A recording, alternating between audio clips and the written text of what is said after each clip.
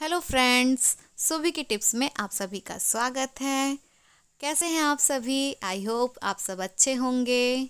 आशा करती हूँ, आज मैं बनाने जा रही हूँ बिस्किट से बहुत ही बेहतरीन मिठाई। मैंने यहाँ पे तीन पैकेट पार्ले जी बिस्किट लिया है। आप चाहें तो कोई भी बिस्किट यूज़ कर सकते हैं, बस वो बिस्किट क्रीम वाली नहीं होनी चाहिए। मैंने तीनों पैकेट को खोल के बिस्किट को प्लेट में निकाल लिया है। देखिए तो सारे बिस्किट को मैंने प्लेट में निकाल लिया है। अब मैं एक लूँगी एक छोटी सी कढ़ाई। आप चाहे तो कोई सा भी बर्तन ले सकते हैं। अब इसमें मैंने डाला है घी। तीन चम्मच घी डाला है। घी को मेल्ट होने देंगे। अच्छे से। और घी को गर्म होने देंगे। बहुत ज़्यादा गर्म नहीं करना है हमें। मीडियम गर्म करना है। देखिए तो घी पिघलते हुए आ चुका है। अब हम इसमें डालेंगे बिस्किट। बिस्किट को हम दो चार डाल डाल के ऐसे तल के निकालते जाएँगे। फ्राई करना है, बिस्किट को हमें ज़्यादा ब्राउन नहीं करना है और बिस्किट अगर टूट भी जाती तो कोई बात नहीं, टूटी हुई बिस्किट को भी हमें फ्राई करना है। सभी को हम चम्मच से अलटते पलटते हुए तल लेंगे, फ्राई कर लेंगे। हल्का लाइट ब्राउन करना है, बहुत ज़्यादा डार्क नहीं करना है और एक दो बहुत ज़्यादा डार्क हो भी जा रहा है तो कोई बात नहीं। देखिए तो इस तरह से हमें बिस्किट को ब्राउन करते हुए मिठाई बनाएँगे। बहुत ही टेस्टी लगती है मिठाई। आप घर में ज़रूर एक बार ट्राई करके बनाइएगा। बहुत ही स्वादिष्ट लगती है बहुत ही जल्दी बनती है। ज़्यादा टाइम भी नहीं लगता इस मिठाई को बनाने में। और यकीन मानिए, जैसे आप मार्केट से लेके आते हैं, उसी टाइप की मिठाई लगती। मार्केट से तो हम बहुत सारी मिठाई ख़रीद के खाते हैं।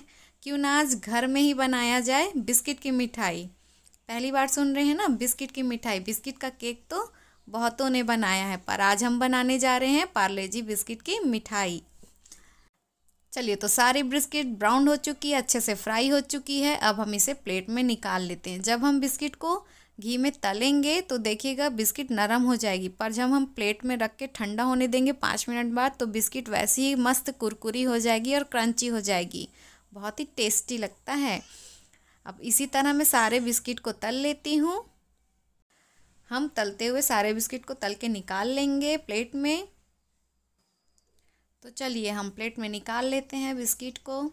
और ये बहुत ही अच्छी बनने वाली है मिठाई हमारी। देखिए मस्त ब्राउन हो चुका है, सारे बिस्किट तल चुकी हैं और ठंडी हो चुकी हैं। पाँच मिनट के लिए आप ठंडा होने ज़रूर रखिएगा। और ये बहुत ही क्रंची हो चुकी है, मैं आपको दिखाऊँगी। देखिए बहुत ही आसानी से टूटते जा रही है। हमें इसे तोड़ के ही बनाना है और बहुत ही टेस्टी लगता है ये। तो एक बार ज़रूर बनाइएगा। बिस्किट की मिठाई। चलिए, सारे बिस्किट को हम तोड़ लेते हैं। दो दो तीन तीन टुकड़ों में तोड़ लेते हैं हम बिस्किट को। और देखिए, बहुत ही कुरमुरी और क्रंची हो गई है बिस्किट। और घी का भी सेंट बहुत ही अच्छा आ रहा है। फ्लेवर भी बहुत अच्छा लगता है। सारी मिठाइयों में तो घी ज़रूर डलता है। इसलिए हमने पहले ही बिस्किट को घी में फ्राई कर लिया है, ताकि हमें बाद में घी डालने की ज़रूरत ना पड़े। देखिए, बिस्किट बहुत ही अच्छी क्रंची हो गई है। आपको सुनाई दे रहा होगा कि बिस्किट बहुत ही ज़्यादा कुरमुरी हो गई है। अब हम इसे जार में डाल के ग्राइंड कर लेते हैं, पीस लेते हैं, इसका पाउडर बना लेते हैं हम। चलिए तो पाउडर बनकर तैयार है। अब मैं इसे एक बाउल में निकाल लेती हूँ। हमें इसी तरह का पाउडर चाहिए ताकि हमारा मिठाई बन सके अच्छी तरह से। अब हम इसे एक बाउल में निकाल लेते हैं, ट्रांसफ़र कर लेते हैं।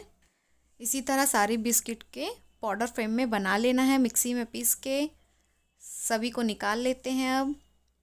अब मैं लूँगी एक बाउल छोटा छोटा सा बाउल लूँगी, उसमें मैं डालूँगी दूध पाउडर देखिए, एक बाउल लिया है मैंने, अब मैं इसमें डाल रही हूँ दूध पाउडर एक पैकेट दूध पाउडर लिया है आप कोई सी भी कंपनी का दूध पाउडर ले सकते हैं और थोड़ा सा दूध डाल के इसे घोला है। उसके बाद फिर मैं एक पैकेट और लूँगी। दो पैकेट दूध पाउडर लेना है, उसे अच्छी तरह से घोल लेना है। उसका एक बैटर तैयार कर लेना है थोड़ा सा ठीक।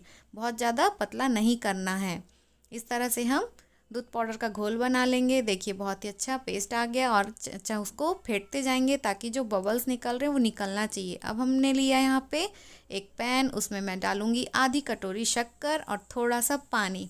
हमें लिक्विड फॉर्म में इसको तैयार करना है। शक्कर को चाशनी जानते हैं। चाशनी बनानी हमें एक तार वाली चाशनी। अब इसे गैस को हाई फ्लेम में करके चम्मच चलाते हुए मैं इसे पकाऊँगी। कुछ मिनटों में हमारी चाशनी बनकर तैयार हो जाएगी। और चम्मच को चलाते जाना है, नहीं तो ये सारा चाशनी बर्तन में चिपक जाता है और हमारी चाशनी हो जाती है ख़राब। तो इसे चम्मच चलाते हुए ही बनाते जाएँगे। देखिए, खौल आते जा रहा है। हमारी चाशनी धीरे धीरे गाढ़ी होते जा रही है। हमें एक तर वाली चाशनी बनाना है जो कि मिठाई में यूज़ होगी। चम्मच नहीं चलाएँगे तो चाशनी चिपक जाएगी और बिगड़ जाएगी, ख़राब हो जाएगी, जिससे कि डिश बेकार हो जाएगी। इसलिए हमें चम्मच चलाते जाना है। देखिए, एक तार वाली चाशनी बनकर तैयार है। हाथ से आप देख रहे हैं, चाशनी बन चुकी है हमारी। ये एक तार आ रहा है, इसका मतलब चाशनी तैयार है। अब हम इसमें डालेंगे जो मैंने दूध पाउडर घोल के रखा था दूध में। उसे डाल देना है। उसे डाल के भी हमें चम्मच चलाना है। मिठाई में दूध पाउडर डालना इसलिए ज़रूरी होता है क्योंकि हम बिस्किट की मिठाई बना रहे हैं। दूध पाउडर डालेंगे तो थोड़ा सा सेट होगा बिस्किट में, इसलिए हम दूध पाउडर का इस्तेमाल कर रहे हैं। अब देखिए, ये बहुत ही ज़्यादा लिक्विड फॉर्म में हो गया है। इसे चम्मच चलाते हुए इसे थिक करना है, गाढ़ा करना है। लो फ्लेम में करेंगे, हाई फ्लेम में यह जल जाएगा, इसलिए हम इसे लो फ्लेम में ही चम्मच चलाते हुए गाढ़ा बनाएँगे। चम्मच चलाना बंद नहीं करेंगे, नहीं तो यह चिपक जाएगा और जल जाएगा। देखिए, हल्का गाढ़ा होते आ चुका है। मैंने इसमें डाला है दो दो तीन इलायची के बीज ताकि ये इसका फ्लेवर, इलायची जैसा फ्लेवर आ जाए। और अब डाल दिया जो बिस्किट हमने निकाला था पीस के। देखिए, वो हल्का सा घी की वजह से मॉइस्चर हो गया है। वो कोई बात नहीं, हम इसमें डाल के इसे पकाएँगे तो ये बहुत ही अच्छा बनेगा। इसे डाल के अच्छे से मिक्स करते हुए जाना है। ताकि चाशनी और दूध पाउडर बिस्किट के पेस्ट में अच्छी तरह से मिक्स हो जाए और एक मिठाई बनाने का टेक्चर तैयार हो जाए। चम्मच चलाते हुए हमें इसे मिक्स करना है और हल्का सा, देखिए हल्का सा बिस्किट से भी घी निकल रहा है क्योंकि हमने बिस्किट को घी में तला है तो अब गैस में हम गरम करेंगे तो घी पिघलते हुए निकलेगा, पर टेंशन की बात नहीं है। घी उसमें एब्जॉर्ब हो जाएगी, सभी मिक्स हो जाएँगे और हमारा मिठाई बनाने का टेक्चर भी तैयार हो जाएगा। करीब इसे चार से पाँच मिनट तक लो फ्लेम में हमें मिक्स करना है। तो ये तैयार हो गया है। अब मैंने लिया है केक टीन आप कोई सा भी स्टील या जर्मन का टीन जैसा ले सकते हैं, जिसमें मिठाई तैयार की जाए और हमें गरम गरम ही डालना है, ठंडा नहीं डालना है। ठंडा होगा तो मिठाई अच्छे से बनेगी नहीं, इसलिए हमने गरम गरम ही डालना है। और टीन में हमने ले लिया है बटर, पेपर या फिर आप पॉलीथीन का भी इस्तेमाल कर सकते हैं, आपको जैसा ठीक लगे। अब इसे चम्मच से पूरा अच्छी तरह से फैला लेंगे। आपको जितना मोटा मिठाई या फिर पतला बनाना उस हिसाब से आप फैलाते हुए इसे सेट करते जाएँगे, दबाते हुए, ताकि अच्छी तरह से सेट हो जाए, जम जाए। कहीं गैप ना रहे, नहीं तो मिठाई टूट सकती है। बनेगी नहीं फिर अच्छे से। चम्मच से प्रेस करते हुए हम सभी को अच्छे से जमा लेते हैं चारों तरफ़ और देखिए घी भी हल्का सा ऊपर आते जा रहा है और बहुत अच्छी लगती, टेस्टी लगती। हमने खाया सबने खाया। देखिए इस तरह से कर लेंगे और इसे सेट करने के लिए अगर आपको तुरंत चाहिए काट मिठाई खाना है तो आप इसे पाँच मिनट फ्रिज में रख सकते हैं या फिर आप इसे पंद्रह से बीस मिनट बाहर भी रख सकते हैं सेट होने के लिए। देखिए, मैंने पाँच मिनट फ्रिज में रख दिया था, मिठाई अच्छी तरह से सेट हो चुकी है। अब इसे चाकू से इसके किनारे को मैं अलग कर लेती हूँ ताकि हमारी मिठाई निकलने में प्रॉब्लम ना आए, टूटे ना। इसलिए चाकू से निकालते हुए हम इसे कट करते जाएँगे ताकि मिठाई अच्छे से निकल जाए। अब एक प्लेट लेते हैं, प्लेट से ऐसे उल्टा करते जैसे हम केक निकालते हैं ना, उस टाइप से फिर इसे टायर हल्का सा प्रेस करते हुए ठोक लेते हैं और देखिए मिठाई एकदम अलग, है ना? बहुत ही सुंदर दिख रही है।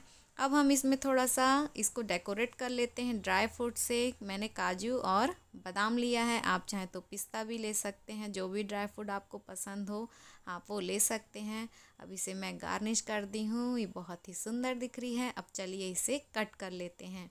आपको जिस भी शेप में चाहिए, जिस भी साइज़ में चाहिए, आप उस साइज़ में मिठाई काट सकते हैं। और ये मुँह में जाते ही साथ घुल जाती है और बहुत ही टेस्टी लगती है मिठाई। हमने ज़्यादा मीठा भी नहीं बनाया है क्योंकि ऑलरेडी बिस्किट और दूध पाउडर में शक्कर रहती है, इसलिए हमने ज़्यादा शक्कर की चाशनी नहीं बनाई। और चलिए मिठाई को कट कर लिया है। अब मैं आपको दिखाती हूँ। देखिए, एकदम परफेक्ट बनी है। मार्केट जैसी दिख रही है ना? अब इसे मैं आपको तोड़ के भी दिखाती हूँ।